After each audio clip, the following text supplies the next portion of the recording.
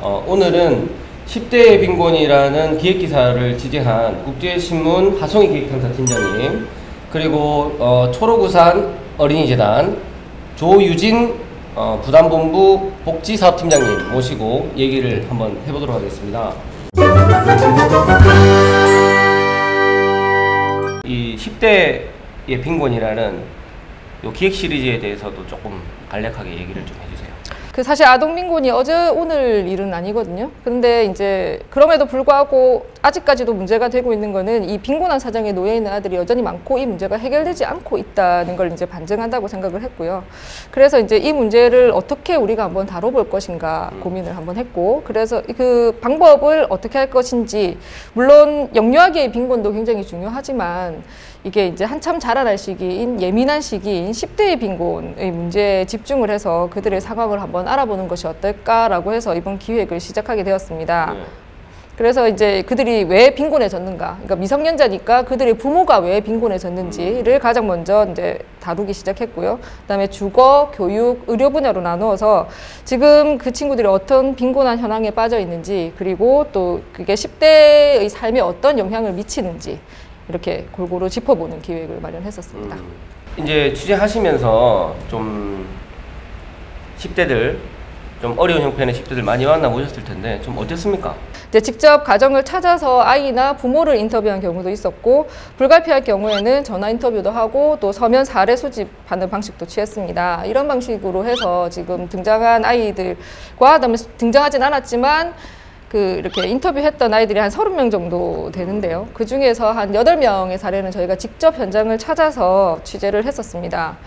그 이제 요 가정 방문을 해서 생각을 한 게 우리나라가 뭐 1인당 소득이 뭐 3만 달러 시대니라고 얘기는 하지만 아직도 이렇게 열악한 환경에 살고 있는 아이들이 굉장히 많다는 사실에 좀 놀랬었거든요. 근데 더 좀 안타까운 부분이 뭐였냐면은 이런 환경에 아이들이 이미 적응이 되었다고 해야 되나 뭐 이렇게 좀 길들여져 있는 점이었습니다. 예를 들어서 이제 밖에 있는 푸세식 화장실이 불편하지 않냐고 여고생에게 물었는데 저는 당연히 답변이 아 너무 불편하다. 그래서 좀 바꿨으면 좋겠다라는 이런 불만이 나올 줄 알았는데 뭐 그냥 벌레가 좀 많아서 불편하긴 하죠. 비 올 때 우산 써야 되는 게 조금 힘들긴 해요. 라는 정도의 반응밖에 없었다는 거죠. 저희가 생각했을 때는 되게 충격적인 모습이었는데 그것조차도 적응이 됐다는 모습 보고 마음이 아픈데 아이들 혹은 그 아이들 부모들이 좀 특징들이 좀 다릅니까? 어떻습니까? 예. 이제 한부모 가정 같은 경우에는 혼자서 양육과 경제 활동을 모두 다 맡아야 되기 때문에 당연히 이제 두 명이 함께 벌고 가정을 꾸려 나갈 때보다 그 상황이 열악할 수밖에 없습니다. 음, 근데 만약에 그 한부모조차도 뭐 건강이 좋지 못하거나 제 역할을 하지 못할 경우에는 그 가정은 바로 빈곤의 나락으로 떨어지는 뭐 그런 상황인 거고요. 그다음에 조성 가정의 경우에는 조금 더 문제가 심각한데 사실 조성 가정은 할머니 할아버지가 아이를 이제 키우는 가정을 말을 하는 거잖아요.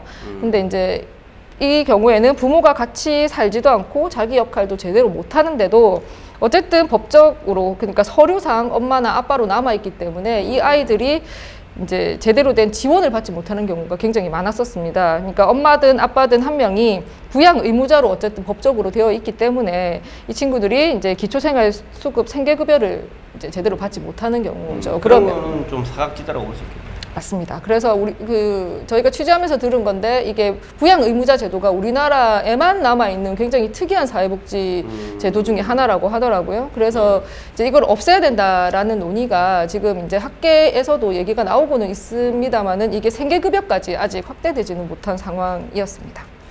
그 부양 의무자 제도 문제점에 대해서 조금 뭐 한 말씀 해주시면 실제로 연락이 안 되는데도 부양 의무자가 있다는 이유로 음. 수급자를 탈락하거나 수급을 못 받는 경우가 굉장히 많아요. 음, 연락도 안 되고 처음에는 뭐 양육비를 지원하겠다 네. 이렇게 해놓고 연락 끊어버리면 음, 정부에서 찾아서 뭘 청구를 하든지 네. 그렇게 해야 되는데 그런 것들도 전혀 안 되고 있는 상황이라서 이 부양 의무자 제도는 빨리 좀 없어졌으면 하는 바람입니다. 음, 사업 실패로 인한 사례가 갈수록 늘어가고 있다고 음. 말을 들었거든요. 실제로 또 보시면 어떻습니까? 근데 저희 재단에서 하고 있는 인재 양성 사업을 보면 어, 사업 실패로 인한 사례가 한 15% 정도 되더라고요. 비율이 조금 낮은 것 같은데 여기서 한 단계 더 자료를 보면 한 부모 가정들 중에 이혼한 사례들이죠. 예. 이혼한 사례를 보면 전부 다 거의 경제적 문제가 많아요. 이 경제 문제가 또 뭐 때문이냐? 사업 실패가 많은 거예요. 이런 것들이 카운터가 안 되니까 비율이 좀 낮게 보이는 거고 이런 부분까지 아마 넣어 본다면 비율이 제법 많아지겠죠. 그런 사례들이 하여튼 점점 늘어가는 추세입니다. 그리고 또 조금 여기서 짚어봐야 될 거는 이 사업 실패가 빈곤으로 바로 이어지고 있고요. 그다음에 아동들 측면에서 본다면 이 대학 진학률이라는 부분과 소득과의 관계를 또 한번 짚어봐야 되고요. 연구 결과에 따르면 어 그 소득 수준이 높을수록 대학 진학률이 높고 상위권 대에 갈 확률이 높더라고요. 그 옛날에서 옛날에 이런 연구가 나왔었고 최근에는 정보 양하고 질하고 또 이제 차이가 있는 거예요. 정보 격차. 예, 정보 격차가 굉장히 이제 심해지고 있어요. 저희 그 인재 양성 사업에 이제 선발된 애들을 보면 사업 실패해서 부모 한 부모가 있거나 부모님들이 일하러 가시거나 아니면 구직 활동을 하시거나 아니면 사업 실패로 이제 계속 심리적으로 위축돼서 계속 집에만 계신 거예요. 네. 그럼 애들은 동생도 봐야 되고 음. 자기 공부도 해야 되고 밥도 차려줘야 되고 이제 가정 그, 그 가정 생활을 자기가 많이 봐야 되는 거예요. 네. 부산에 사실 뭐 노후된 집들도 많고 하긴 하- 하지만은 좀 정도가 심하다라고 생각이 들었는데 부산의 그 주거 빈곤율 현황을 좀 알려줄 수 있습니까? 네, 그 통계청에서 조사한 자료가 있는데 2015년 인구주택 총조사 내용을 보면은 부산 지역의 주거빈곤 아동 비율이 8.5% 정도 됩니다. 이게 사람 수로 치면 한 5만 1,000명 정도 되는 수준이고요. 5만 3명. 5만 1,000명. 예, 요 안에 들어가는 거는 이제 최저 주거 기준 미달 아동도 들어가고, 근데 주택 이외의 거처, 그러니까 비닐하우스라든지, 뭐 네. 고시원이라든지 이런 데 살고 있는 아이들까지 포함한 숫자입니다. 비닐하우스에서 사는 아이들이 실제로 있나요? 최근에도. 어, 최근에 이제 강서구 같은 데서는 좀 네. 많았었는데 최근에 조금 없어진 게 강서가 지금 계속 개발되고 있잖아요. 예, 개발되는 과정에서 뭐 이사를 가고 뭐 이런 경우가 있다고는 들었는데 음. 그럼에도 불구하고 아직도 주택 이외 거, 그 기타 거처에 살고 있는 아이들이 2015년 기준으로 3,200명 정도 됩니다. 아, 부산에만. 부산에만. 네. 이게 이제 8.5%이 비율을 7대 특광역시랑 비교를 하면은 이게 서울하고 인천, 그러니까 수도권에 이어서 세 번째고요. 음. 이게 이제 부산하고 가장 가까운 울산하고 비교를 해보면 울산이 5.4%거든요. 그러니까 아. 그거에 비하면은 굉장히 이제 높게 나타나는 수준입니다. 부산이 이렇게 좀 높은 이유가 있어요? 부산이 이게 숫자로 봤을 때 서울 같은 경우는 14%거든요. 아. 예, 그러니까 그거에 비하면은 좀 낮은 편이긴 한데 또 이제 다른 또 도시들과 비교했을 때는 또 낮은 편은 편이니까. 아니거든요. 네. 근데 이제 부산만의 좀 특징이 있습니다.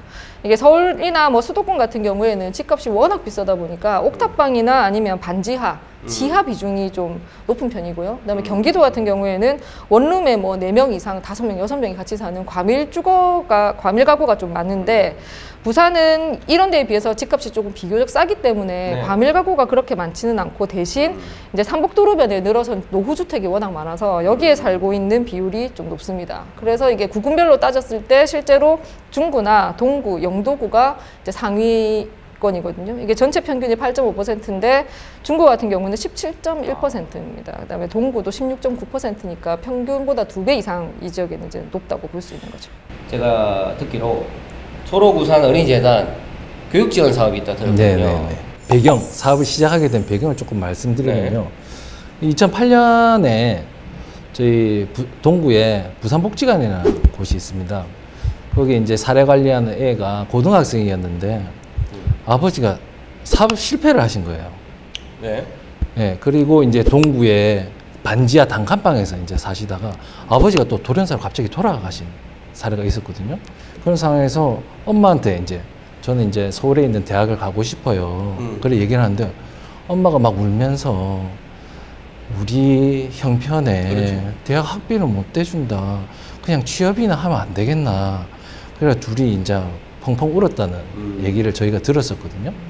그때 이 담당하던 사회복지사가 와 안 되겠다. 도저히 얘, 아, 얘 그냥 못 넘어가겠다 해서 얘 꿈을 꼭 이루어지겠다. 이루어주겠다. 그런 생각을 가지고 이제 후원자님들을 막 찾아다닌 거예요. 그래서 2008년부터 이 애를 처음으로 이제 교육 지원 사업이 시작됐고요. 지금 현재까지 계속하고 있고 지금 한 114명 아. 부산에 네. 114명 정도가 이제 인재 양성 교육 지원 사업으로 지금 사업을 같이 하고 있습니다. 어, 저희가 매달 일정 부분의 장학금을 지원하고 있고요. 네. 그리고 방학 때는 어, 이 저희 교육 지원 사업 중에 대학생들도 많거든요. 네. 대학생들하고 중고생들이 있는데 대학생들이 이 중고생 후배 학생들에게 어, 자기가 꿈을 키웠던 방식이라든지 꿈을 잃지 않는 방식이라든지 앞으로 학교에 어떤 것들이 도움이 되는지에 대해서 자조 모임 비슷하게 설명을 막 해주고 있어요. 그 중고등학생 학생들도 중고등학생 학생들도 자기 상황과 좀 유사한 상황이니까 훨씬 더 이해가 빠르고 더 적극적으로 이제 같이 활동을 하고 있거든요. 그 학생들이랑 인터뷰를 하셨죠? 네, 그렇습니다. 그 인터뷰 내용 좀 어땠는지. 최소한의 교육의 기회를 제공한다는 측면에서는 사실 양쪽으로는 나아지고 있습니다. 뭐 지역 아동센터가 늘어나고 있다던가, 뭐 예를 들자면 뭐 그런 부분들은 점점 나아지고 있는데 제가 인터뷰를 하면서 느꼈던 게 이제 이런 저소득 가정 아이들이 어느 정도 수준을 넘어서 상위권 혹은 그 최상위권으로 한 단계 뛰어넘기 위한 발판은 전혀 없구나라는 생각을 좀 했었거든요. 이게 대표적인 게 사교육인데 이제 저소득 가정 아이들 중에서도 스스로 타고난 지능이 높거나 아니면 애살이 많아서 어느 정도까지는 자기 혼자서도 해내는데 이거를 이제 더 넘어서 그러니까 학년이 올라갈수록 조금 더 더 성적을 올리기 위해서는 이제 스스로 하기는 힘든 상황인 거죠. 지금 우리나라의 교육 사정 봤을 때. 인터뷰 하시면서 뭐 진짜 어렵게 공부하는구나 하는 뭐 그런 얘기 들은 게 있으세요? 이렇게 지원을 받아서 어느 정도의 뭐 인터넷 강의 정도는 자기가 해결을 이게 해결을 할 수 있었지만 음. 교재비가 너무 비싸서 아, 그 교재비. 지- 교재비가 너무 비싸서 이제 그 교재비가 4만 원 정도 하니 이거를 사달라고 얘기도 못 하고 해서 친구한테 아 나 놔두고 왔는데 그 좀 빌려주면 안 될까라고 해서 하루 빌려와서 밤새도록 타이핑을 해서 갖다 줬다. 교재를 하루에 타이핑을 거예요. 예. 또 하나는 이제 고등학교 가서 이 친구가 이제 점점 성적이 나빠지니까 엄마가 모아놨던 돈을 다 털어서 해운대 쪽에 학원을 이제 보내줬다는 거죠. 예, 근데 이게 학원비가 너무 비싸서 자기가 두 달 만에 이제 그만뒀다는 거예요. 음. 그러니까 이제 자기도 사교육이 받고 싶었고 또 굉장히 절실하다고 느꼈지만 돈이 없으니까 이 돈을 매달 투입해가면서 자기가 학원을 다닐 여력은 없었다는 거죠. 그 덧붙여서 좀 네. 말씀드리면 이제 애들이 중학교 때 공부를 잘하잖아요. 네. 그래서 특목고를 가요. 예를 들면 뭐 음. 과학고라든지 네. 이런 학교를 가잖아요. 네. 그게 오는 친구들은 사교육을 굉장히 많이 받거든요. 근데 얘는 아무 교육을 못 받으니 거기서 이제 도저히 못 다니겠다 해서 일반고로 전학하는 사례도 요즘 굉장히 많아죠. 뭐 상대적 박탈감이나 이런 것도 많이 네, 그렇죠. 심리적으로도 위축될 수밖에 없고. 의료 분야 같은 경우에는 물론 다른 뭐 주거나 교육이나 이런 것도 물론 중요하지만 의료 부분 같은 경우에는 또 어떻게 보면 생명이랑도 직결돼 있지 않겠습니까? 그래서 이제 우리가 좀 더 관심을 가져야 될 것 같은데 좀 의료 관련해 가지고는 좀 현황이 어떤가요? 그러니까 질병도 네. 빈곤의 원인이 큰 부분을 차지하는데요. 아, 요즘에는 이 사업 실패하고 좀 다르게 어, 의료 빈곤은 서서히 이제 빈곤에 빠지게 되는 경우가 많습니다. 음, 치료 부대 비용이 이제 또 문제인 거예요. 예를 들어 간병 비용, 네. 그다음에 어 그 교통비 같은 거, 그리고 병실 이용료라든지 이런 부분들이 이제 서서히 나가니까 서서히 이제 또 빈곤으로 빠지게 되는 경우가 많더라고요. 어 그래서 저희 재단에서는 이렇게 안정적으로 치료받을 수 있도록 의료비 지원하고 있고요. 간병비도 이렇게 지원을 하고 있고 내년부터는 내년부터는 이런 부대 비용까지 저희가 좀 지원할 수 있도록 지금 사업을 조금 변경해 나가고 있는 상황입니다. 원인별로 그리고 또 어, 각 분야별로 빈곤에 대해서 한번 짚어봤는데 이번에 이제 해결책이 있을 거 아닙니까? 뭐 문제는 이제 충분히 공감을 다 하실 거고 좌담회를 열었다고 들었거든요. 뭐 어떤 대책들이 좀 나왔습니까? 네, 25일 날 이제 그 교수님과 그 다음에 이제 초록우선 어린이재단 그리고 이제 부산시 담당자가 이제 모여서 좌담회를 열었었습니다. 여기서 이런저런 좋은 얘기들을 많이 해주셨었는데 거기에서 나왔던 몇 가지를 보자면 일단 부산시가 그 아동 친화 도시잖아요. 네. 네, 이제 부산시 입장에서는 이제 광역시 단위에서는 우리가 처음이다. 그래서 뭐 이런저런 일들을 뭐 해 나갈 계획이다라고 밝히셨거든요. 이제 구체적으로 어떻게 신경을 쓸 것인가를 봤을 때 이게 어떤 선언적인 부분에 그칠 것이 아니라 실제로 이제 빈곤 가전 아동들이 느낄 수 있는 정책을 펴달라라는 주문들이 있었어요. 예를 들면은 이제 그러니까 주거 빈곤이 아까 말씀드렸다 말씀드렸듯이 이제 빈곤한 상황이 가장 적나라하게 드러나는 부분이고 눈으로 이제 시각적으로 물질적으로 가장 이제 도드라지는 부분이기 때문에 이런 부분을 이제 해결할 수 있도록 뭐 이게 부산시에 사는 아동만큼은 최저 주거 기준 이상에 살도록 하겠다. 뭐 이런 부분의 목표를 설정을 하고 이걸 실천하기 위한 세부 계획을 발표한다든지 이렇게 이제 우리는 아동 친화 도시니까 아동의 의견을 우선합니다 라는 어떤 선언적인 부분에 더해서 세부적인 계획을 좀 밝혀달라는 주문이 좀 있었고요. 그 다음에 10대의 빈곤은 이제 사실은 10대는 미성년자잖아요. 10대가 빈곤하다는 말은 10대가 속해 있는 그 가정이 빈곤하다는 말이거든요, 결국은. 이제 이 10대 개인의 문제뿐만 아니라 그들의 부모 문제에도 좀 관심을 가져서 이 가정 전체가 빈곤에서 빠져나올 수 있는 방법을 찾아야 된다라는 주문도 있었습니다.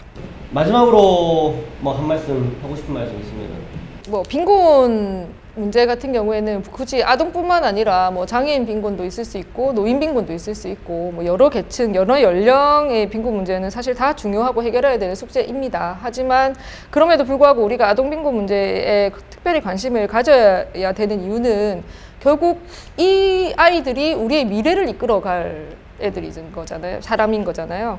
그러니까 결국 아동에게 신경을 쓰는 거는 우리의 미래를 이제 신경 쓰는 거랑 똑같은 개념이 아닐까라고 저는 이번 기획 시리즈를 하면서 생각을 좀 했고요.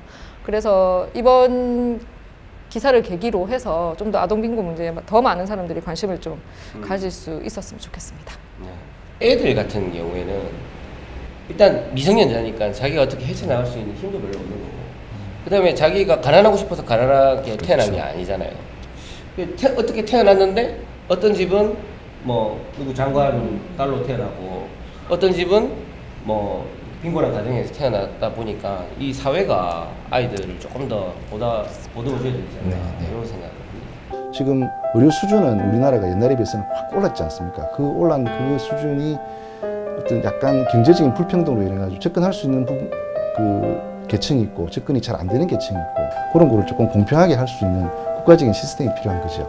그렇죠. 문제는 사실은 복지 재원을 선택할 복지 재원을 결정할 때 복지 예산과 관련 문제이기 때문에 사실 아동은 투표권이 없기 때문에 아동에게 재원이 어, 배- 배정되는 데서 상당히 불이익이 우선순위에서 뒤로 밀려나는 그런 면이 상당히 많이 있어요. 어떻게 보면 어, 아동에 대한 복지 정책은 향후 발생하게 될 모든 복지 문제를 어, 예방하는 것일 수도 있다라는 측면에서 볼 때 사회복지화 분야의 중요한 것 중에 하나라고 생각을 합니다.